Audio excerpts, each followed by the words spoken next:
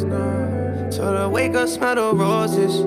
Feeling fresher than my clothes. Is my closet overflowing? Yeah, can't walk in, can't close it. And my floor plan is open.